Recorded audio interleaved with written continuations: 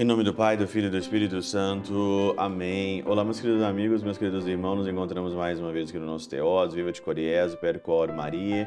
Nessa segunda-feira, hoje, dia 13 de dezembro, da nossa terceira semana do nosso advento. Hoje, dia 13, é dia de Santa Luzia, nossa protetora dos olhos. Nós vamos pedir a intercessão dela nesse dia para proteger os nossos olhos e principalmente para que nós possamos ter olhos espirituais enxergar além daquilo que é aparente neste mundo. Também queria agradecer de coração todas as pessoas que contribuem com Teoses, que o Senhor retribua na vida de vocês aqui nessa terra cem vezes mais e com a vida eterna no final da vida de vocês. E se você quiser fazer os nossos cursos, vai lá no teoses.com.br, no nosso site, não deixa de participar aí das novidades, aí, tanto do Clube dos Santos, como também de ler a Bíblia com o Padre, com o Padre Júlio, com o Teoses, no ano de 2022. O evangelho de hoje, ele é aí de Mateus capítulo 21, versículo 30, 23, a, a 23 a 27, né? E aqui então, é, os fariseus, os mestres da lei, perguntam com que autoridade o Senhor faz os milagres, com que autoridade o Senhor expulsou é, aqueles cambistas no templo, que autoridade, né? Quem, é, e quem te deu tal direito, né? Quem te deu esse direito, né? né para ti. E eu achei muito interessante a reflexão, né? Aqui na Catena Aura, o pseudo Crisóstomo, né? No Opus Imperfectum, em Mateus, na homilia 39 do pseudo Crisóstomo, ele fala o seguinte aqui. E é por isso que acrescentam: E quem te deu tal direito? Manifestam nisso que há muitas pessoas que dão os seus poderes a outros homens, seja na ordem material, seja na espiritual. Achei super interessante essa, esse comentário, porque tem muita gente que dá mesmo de fato né, o, o, o direito, o poder da sua própria vida para os outros. É assim, às vezes, a mulher, assim o homem no casamento, né? Você dá a sua liberdade, você dá o direito teu para o outro. O material também, o direito de você ficar bem, de você ser feliz, você entrega isso para o outro.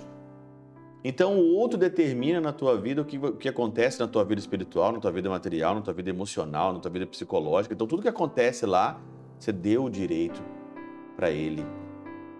Acontece isso no namoro, no casamento, na vida religiosa, na vida de padre.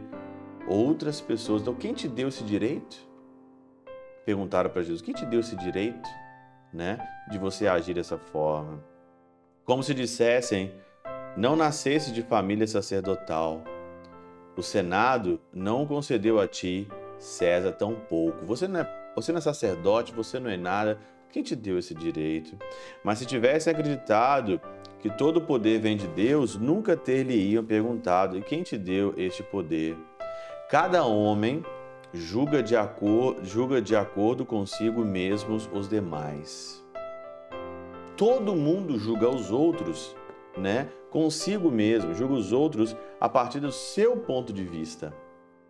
Então eles estavam julgando Jesus aqui do ponto de vista deles. Nós somos sacerdote, nós somos as pessoas aqui gabaritadas. Quem que você é? Que poder é esse? De onde veio isso? Então cada homem julga de acordo consigo mesmo, de acordo consigo mesmo os demais. E aí então acrescenta aqui, né? O fornicador não crê que haja alguém que possa ser casto. A pessoa que não vive a castidade, ela não acredita que possa existir a castidade. A pessoa que, eh, que não é honesta, ela não acredita que, que a pessoa, outra pessoa não rouba. Não, mas se você não faz isso, nossa, mas você é isso? Nossa, você não fica bêbado? Nossa, você não fuma? Nossa, você não faz isso? No... Ah, por quê? Porque cada um julga os outros conforme o seu próprio umbigo, consigo mesmo. Cada um julga o outro conforme sigo mesmo. Então, se eu não vivo uma coisa, então eu acho também que o outro não vive. E isso acontece na vida religiosa, isso acontece na vida de padre, isso acontece aqui, né? Julgando os outros padres. Um padre, eu julgo o outro padre porque é, o outro padre, ele, é, é, eu não vivo a castidade, então ah, nenhum padre vive a castidade. Eu sou então pedófilo, então nenhum padre então aqui, todo padre então é pedófilo. E, e é isso que acontece. E é isso que acontece. Geral, é isso que acontece. E é interessante que o pseudo Crisóstomo vai dizer, vai dizer que diferente, né? E o casto não, sus, não suspeita facilmente do fornicador. Né?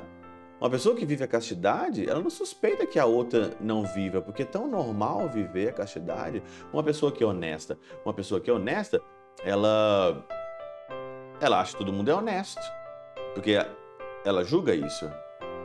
Tem uma história de São Tomás de Aquino muito interessante, é que um confrade, né, um, um, beneditino, disse para São Tomás de Aquino: São Tomás de Aquino, vem aqui, tem um boi voando na janela, tem um boi voando no céu. São Tomás de Aquino correu, correu, correu, correu e olhou lá e viu que não tinha nada, não tinha nenhum boi voando pela janela. E aí o rapaz então falou com São Tomás de Aquino, né? É, Nossa, como você é tolo! Como que você é tolo acreditar que um boi pode voar? Aí São Tomás de Aquino falou assim: Não, eu não, não, eu não acredito, não, não, eu não fiquei espantado por causa que um boi possa voar ou não voar. Eu fiquei espantado, eu não sabia que um religioso poderia mentir. Por quê? Porque São Tomás de Aquino não mentia. Então, assustou mais a São Tomás que um religioso estava mentindo do que um boi possa voar. Pela intercessão de São Chabel de Mangluf, São Padre Pio de Peltrautina, Santa Teresinha do Menino Jesus e o Doce Coração de Maria, Deus Todo-Poderoso vos abençoe. Pai, Filho e Espírito Santo desça sobre vós e convosco permaneça para sempre. Amém.